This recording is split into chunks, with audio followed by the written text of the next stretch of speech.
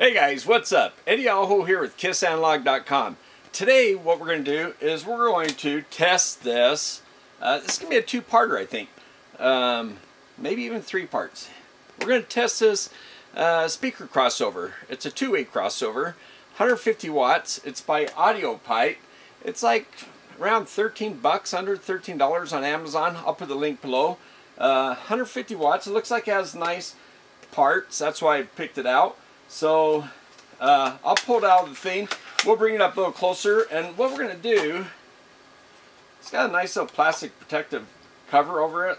So it's a CRX 203 two-way. So 150 watt, uh, 300 watt peak is what they say. So we'll give it a test, okay? We're going to see where the crossover points are. I'll show you the spec on it. By the way, here's the specs on this crossover. So right around 4 kilohertz it crosses over from the tweeter to the woofer and says it does so in 12 dBs. So we'll test that out, okay? And it says in a 4 ohm, so we'll test 4 ohm speaker. But we'll test it out and see how it works. And I still have this Class D amplifier. What we're going to do is first we'll test it like I did the three-way crossover, which I think we'll retest that as, as well. But then we'll test it with actual power going through it and see how that works out. We'll do the Bode plot on them, okay? So, yeah, let's check it out. All right, so let's come over here and test this uh, crossover. All right, guys, and here's the setup. Uh, try to ignore all this junk, okay? That's a Class D amp I'm working on. Uh, I think we're going to use that for part two of this. We're going to put some power into this, but uh, so, and that's kind of blurred on me. It was wet, I guess, when I grabbed it. But anyway, two 4 ohm 200 watt loads right here. And they're coming around here and they're connected into this block. These two terminals up here are the tweeter minus and plus woofer minus plus and input minus and plus. By the way the minus minus minus they're all hard connected. There's as far as I can tell there's no componentry. It's all just shorted in there okay? So channel 1 uh, voltage probe right here. It is in times 10x position and it's on the input. The input signal right here this red and black little grabber it's coming from this coax right here and this is coming from generator 1 on the output of the scope. And our Hantek CC65 is set in the times 10 position right here put a new battery in it so we're good to go there. And the current is going from red it's going in the top and out the bottom. That's how it goes.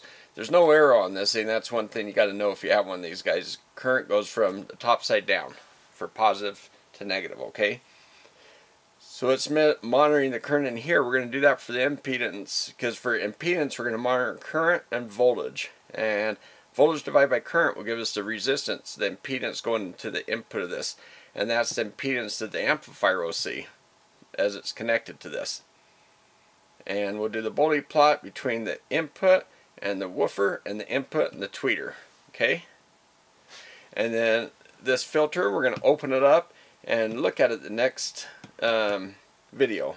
Okay, we're going to tear that in, tear it into that, and we're going to put a power signal through here instead of just this uh, you know generator signal, this low amplitude. Okay, but let's go look at the Bode plot and the input impedance of the filter the way it sits now. Okay guys, so let's just go over the setup, okay? So right here, channel 1, I have the scope going into it. I don't really need this guy right now. I'll take it out. So channel 1 is looking at the input voltage. And channel 3 is the current probe. That is looking at the current going in. So we're going to measure uh, the voltage divided by current is ohms. Okay, so what we do, now what I've got is, here's the signal coming from the generator. The generator right here is coming out from the back of channel 1 of the generator. There's two channels. It's coming out channel 1 and going into the input. Okay, so that's this BNC cable right here coming around the back of the scope alright and so I've got a signal coming out and right now I've got uh, channel 1 it's just AC coupled 1 meg, inverts off, full bandwidth, and 10x setting. Channel 3, AC, it's the same thing except for this is uh, set for a current probe. It's just, you know, gives you current reading instead of voltage. Other than that, it's the same thing. It's 10x scale. Okay, I think we're all set up. And the scope, as it does this Bode plot, it'll adjust the, the vertical scale and the horizontal uh, frequency scale um, as it plots the Bode, okay? So what we do is we go to Applications button. We come down here to Applications. Then we have all these applications. What we'll do is we'll come over here to the FRA. FRA is Frequency Response Analysis. Okay, so there we are. I think we're all set up. So I say select. It says, are you sure? Yes, I'm sure. And we're at this window. So just to show you the reference circuit, uh, here's the scope. Here, I'll zoom in just a touch. Uh, simplified diagram, scope, and device under test, DUT. Generator channel 1 comes out, goes into the input. Uh, current probe, it's actually on channel 3, and it's reading the current coming in. And the output is actually reading the voltage right here. So we're not set up for gain phase, we're set up for impedance into the device under test. Let's go to setup. So the input is channel 3, that's the current, and the output is channel 1, the voltage. So it's output divided by input. And we're going to go, let's see, 15 is the least resolution, 30, 45, 90. Let's just go to 30. That'll be, I think, plenty and it just goes a little faster. So once we run it, we can analyze it. So let's go ahead and run it. Okay, so up in this window, you can see the voltage and current like we could when we were looking at the uh, freak, you know, uh, before we went to the Bode plot window, and you can see it adjusting the vertical amplitude and horizontal amplitude. And we're starting with phase in red coming out right here. That's about it's probably about zero degrees, I guess.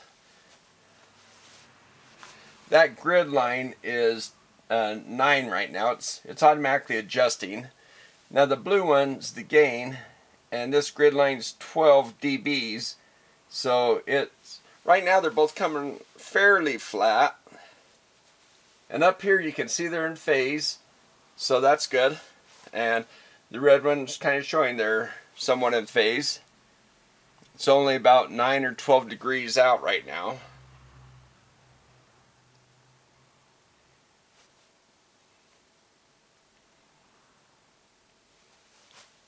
So the impedance changes as the crossover points, it kind of runs into the crossover points because, you know, it makes sense, right? And now I'm, you know, I didn't show you in the frequency setup. We'll go back and look at it but I was set for 20 hertz to 100 kilohertz. So really the audio band is this line right here, 20 kilohertz. 10 kilohertz is right there. So each one of these lines, it's logarithmic. So that's a decade, here's a decade, another decade. Starts at 100, 1K, 10K, 100K. And then the, you see that 100 hertz, 200 hertz is pretty far away. And they get you know, progressively closer with each, uh, you know, with each grid. All right, so that was 14 dB, pretty, pretty flat, and then it kind of went up to about 19 dB, and then at 20k it's it's coming back down, and so it's fairly flat, and then it kind of shoots up higher frequencies. The phase was about minus 15. It went up to about plus 30 and then kind of did this whoop-de-doo, dropped down to zero. But you know, it's only changing 15, 30 degrees, so not too bad, you know, for going to this crossover where we're going from a low pass to a high pass. So that's the input impedance that the amplifier would see. And that's with two 4 ohm loads on each output for the tweeter and the woofer output. So 14 this grid right across here would represent about 5 ohms. and or 9 dB. This 9 dB here, so that's about 5 dB between the grid. So if it's down 1 dB, let's say, that's about 4.5 ohms. So it's about 4.5 to about 5 ohms right here. And it goes up to, so this is getting close to about 9 ohms right up in here. And then it drops back down. And then this is, you know, this out of the audio band here. But yeah, then impedance kind of goes up a little bit. and Okay, so now I think we're set to do the voltage plot for the woofer. So let's go ahead and do that. It's the low pass filter. What I have here, just quickly set up the channels. Channel. Alright, so let's just go through a quick uh, scope setup. Right here I have a cable coming around from the back of the, the scope where it's plugged into generator 1 output. And that's going into the input filter. Channel 1 is looking at the voltage going into the input filter and channel 2 is looking at the voltage uh, going into the uh, or coming out of the woofer section of the filter okay? So we'll look at the voltage plot of the woofer section first. Whoops let's turn that one on turn this guy off. And then we'll just check the setup. AC coupled 1 meg 10x and same for this guy. So they're both set up the same way. Yep. Okay, so we're all set up here. Now we just go up the app button and then that comes up the application button here. So I hit that. Here's my different applications. I want the frequency response analysis, which is the Bode plot. Come over here for that. Select it. Confirm that I want it. Now I have this window here. Alright, so we're just zoomed in a little bit. And so what we're going to do is going to go to setup here. And right now it's on channel 3. I want to do the input on channel 1 and the output on channel 2. Alright, so now we're set up and we can see the signals up here. And let's see, uh, this guy right here is on points per decade. Let's see where we are. Uh, this 30, we can go down 15 up to 90. I think 30 is a good point start. Reference circuit, uh, scope, generator 1 output coming to the input of our filter, channel 1 to our input. So we're hooked up just like this. We don't have to be because we can, in the setup, we can decide which channels we're going in. But we're basically set up this way. Well, we are set up this way. so let's go to run. You know what? Let me stop this for a sec. I forgot to show you something here. Yeah, we're going to... Okay, in the setup here, what the other thing I want to show you is uh, the generator setup button right here. So we're at 20 hertz to 100 kilohertz. So we're going to go ahead and go with that. So we have equal decades across here. And the amplitude's maxed out at 2.5. That's max for that. And impedance is low, so because we're kind of going into low impedance load. So let's see. I think we're ready to go ahead and run. Okay, so we can see this the scope adjusting the vertical and the horizontal scales to keep them, you know, where they can read get good readings. And wow, look how flat it's coming out. There's 0 dB, the blue one. The red one's phase and it's 0 degrees. So wow, they're coming out super flat. So it's kind of coming along slow because we have 30 points. So yeah, that was plenty enough points to get a good graph. Okay, now things move a little quicker as we go across frequency. It looks like phase is dropping a little bit. So it's auto adjusting the scale here. That's why it looked like a bumped up. The gain is still really flat. Okay, now it's rolling off. We're, I think it, okay, the, it said it'd roll off right around 4.3 kilohertz. Alright, so let's take a look at that. Let's do this thing right here. And I'm going to go to the scale. And I'm going to put the phase where we can have a zero on the grid somewhere. Okay, that's the gain. Let me, oh, that's how many uh, degrees per grid. So let's do the offset.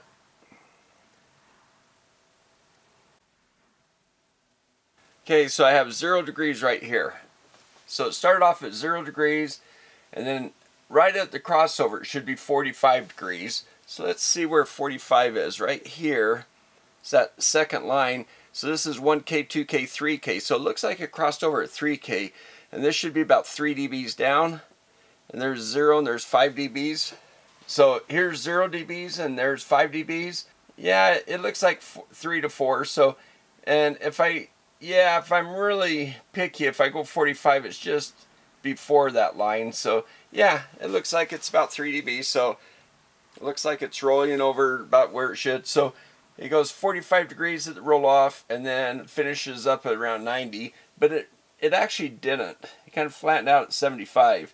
I would have kind of almost expected to go to 90. So what I think is happening is the other section of the filter is kicking in and kind of changing the phase again. It's kind of impacting uh, this output. But, you know, we're so far down the gain we don't really care. So, uh, let's see. Yeah, we're down like, you know, 60 dBs. We're out here at 2345K.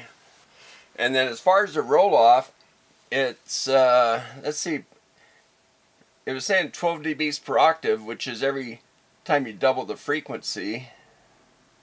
So let's go 10 to 20. That's about one grid, about halfway through this one, halfway through that one. That's about an octave. And this is 5 degrees per grid, so that's about 10. So, yeah, it's pretty close to 10 or 12 dBs per octave, I guess. The other way to say it is 20 dBs per decade, right? And so if we go, let's say that's fairly flat through here, so if we go to 100K to 10K, uh, it's down here at minus 30, and so minus 10, you'd expect it to be on that line, so it's actually, you know, it's actually not quite as steep, but it's probably because at this point we're already rolling off, so yeah, you probably it's probably changing the angle right through here slightly that's kind of hard to see. So we can come to measure and we can turn on cursors and cursor 1 I can bring over here to let's say right so I can watch it right here so I can come to 10 kilohertz where I am okay now cursor 2 I can go to 20 kilohertz. So that would be an octave. Okay, I'm 19K there and 22 there. So it's kind of jumping between. It's kind of hard to get it right on. So between there and there, we've got about 5 dB. Oh yeah, it's only about 5 dBs. I was saying 10 before. It's 5 dB. I yeah, I keep forgetting. It's 5 dB per thing here. So yeah, so it really doesn't look it, and that kind of corresponds with the 20 dB per decade. So a 12 uh, dB per octave should have been a 40 dB per decade. So it looks like this woofer really doesn't roll off at 12 dBs per octave, uh, which would kind of talk to about a two-pole filter. So it looks more like a one-pole filter, and it's only 60 dBs per octave. It does call out a 4 ohm load, which is what I have. Okay, let's go look at the tweeter. Maybe it'll be different. Alright, so what I did is I moved the camera to get a little more straight shot at the screen. And here's what we just did. Okay, so kind of remember the roll off. We're saying it rolled off probably, here I'm going to take uh, cursor 1 and we'll go up to, to the top of the screen here, right around in there. And it says we're about 0.6 minus 0.66 minus 0.7 if I roll across here it's pretty flat. It's about around minus 0.6 so I'll come right around there say or uh, let's say right here up in this flat section. We're minus 0.61 okay? Right here. Now let's take cursor 2 so I'll take this cursor and we'll come up to minus 3.6 so that'll be about a 3 dB roll off, right? Okay, I'm kind of in between again. I guess if I would have went more points, I probably could have got better resolution here with my cursors. Uh, but anyway, so we're right around 2.5 kilohertz. And it was calling out for uh, about a 4.3 kilohertz. So I don't really see that.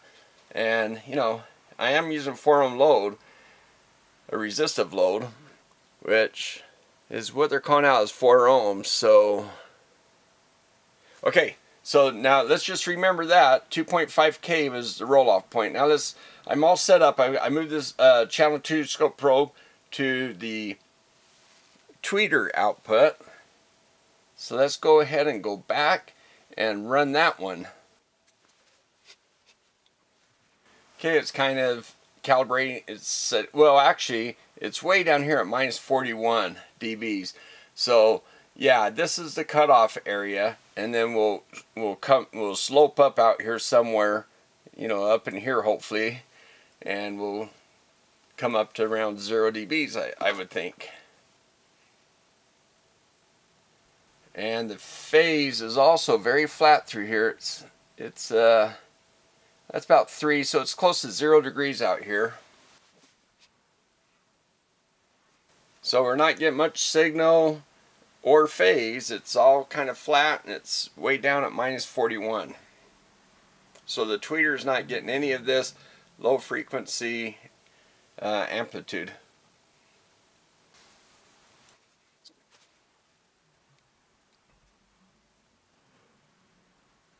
Wow, that phase is really taken off. It's going up to about 90 degrees there. Okay, now it flattens off. Wow, now it's taken, it's, it's literally taken a 180 degree shift. Okay, so yeah, that was really low and it came up to close to 0 dBs. We're about minus 1 dB, which, you know, there's some loss in, in the uh, connectivity yeah, the phase right through here goes back down to close to zero, but you know, this crossover thing, we will probably, at the crossover, we should have about 45, but if it's uh, 12 dBs per octave, we'll have 90 degree. So, and from what I'm seeing, it looks like we have a better chance of having a 12 dB per octave shift. So, uh, this is pretty steep here. Let's pull up our analysis here. Let's go here. Let's set the scale for our offset. Let's get a zero on here somewhere. Okay, there's our zero right here. And I'm going to get a zero on the gain too. Okay, so we have a zero right here. So that's close to zero right here at the end. Okay, now let's go to measure. Turn the cursors on. There's where our cursors were before where we left them, it looks like. Yeah, two and a half.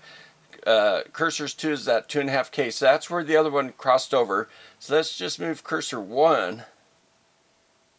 And let's come up here at the end. That, see, that's, you know, that's close to zero dBs. It's minus one.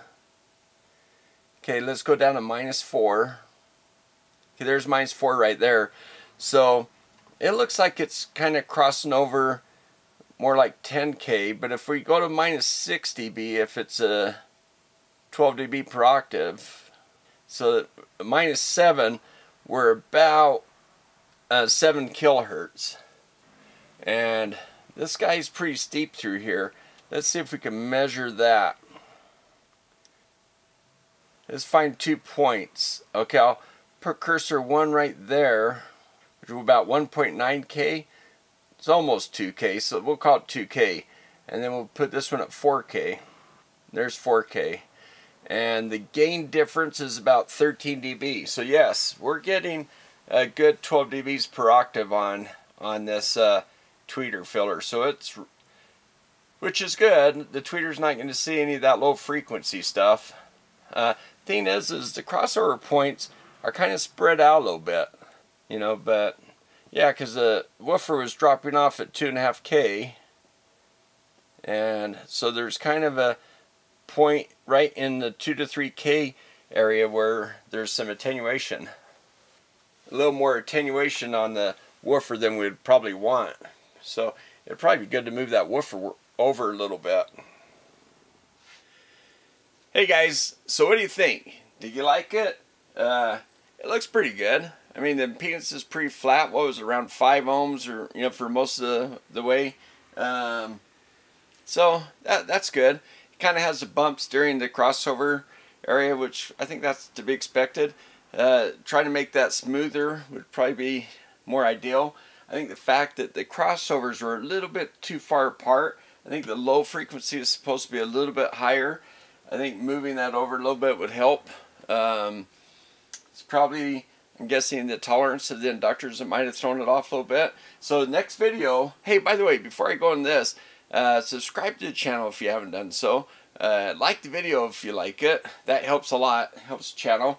And thanks to my patrons for supporting the channel. Um, and thanks for everybody for watching. That supports as well. So, okay, back to this guy. So this guy if uh, what we want to do is we want to run some power through and see how that changes things, okay? So I'm going to take the signal from this guy, run it through the Class D amplifier I have here, and then we'll we'll run some power into this.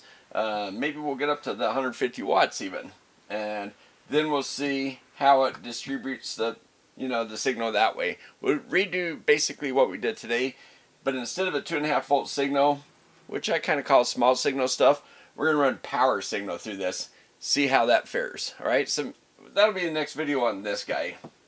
And by the way, if you have stuck around, I want to talk about this meter. I'm kind of organizing my garage. Been here for over two years, so it's time to do that, right? And I just happened to find some meters. Thought I had them all, but found some more meters. And as a matter of fact, when I clean out my storage, I think I'm going to find even more. So I'm going to start giving a meter away every once in a while. And I think what I'm going to do is I haven't been able to do extra content for my patrons. And if you don't know what a patron is, it's somebody who just kind of subscribes to the channel. There's a link below. I think you can do a dollar, two dollars a month, something like that. And, um, you know, all that helps because I need to buy some speaker drivers to actually, I need to buy some speaker drivers to actually test this with real speaker drivers. People want to see that. Using resistive loads is a way to kind of even the playing field because we don't know what the driver is going to do. But we need to test at least one driver to get a representation to see how a driver actually affects a crossover, right? So I need to buy some of those. And meanwhile, uh, so the Patreon thing, I think what I'm going to do is I'm going to give this meter away to one of my Patreons. Okay? And got something else special coming in the mail from uh, some a benefactor that's to be really cool, to excite you guys. And I'll give that away as well. Anyway, so this is a Fluke 27. This is an older model. There's a Series 2 out now. But this guy is extra big and heavy, robust, because all the things you like about Fluke being reliable and all that, this guy is just a little extra safe. And I think this is industrial use and yellow so it stands out. You don't lose it on sight. Uh, and it has a MSHA sticker back here. And what that is, is the Mining Safety Health Administration, I think is what they call them. And essentially what I think that meant was that if you use this in a mining operation somewhere around, let's say, a uh, place where there's fuel, right? Um, that if there's something that goes wrong inside the meter, it doesn't spark, arc, create uh, you know explosive atmosphere kind of problem you know? And so now this meter I can tell you right down here there's a little chip. It must have crashed and hit the corner right there. So maybe some epoxy to kind of hold that together. I mean it's been like that since I've had it for years but you know maybe just to seal that up because I don't think the MSHA guys would approve that with the you know with having a crack there. But so I'm going to give this meter away. I'm going to clean it up and I mean I got some stuff to clean up meters. We're to try that out. And uh, yeah so this is a per first pre preview. And you guys have some ideas how I can select a Patreon? Uh, let me know. Alright guys. Hey I hope you liked the video and we'll see you next time. Alright thanks guys. Thanks for watching